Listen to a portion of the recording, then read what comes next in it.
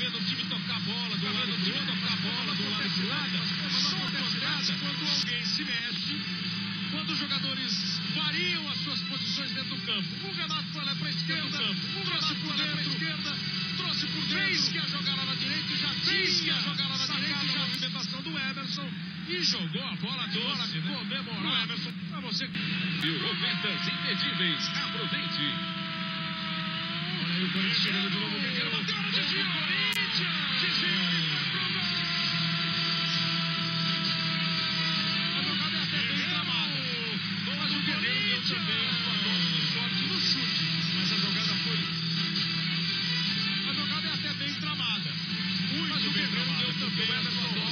Isso, olha como essa jogada chega. Muito bem tramada. Passa o Everton, bola o Guerreiro.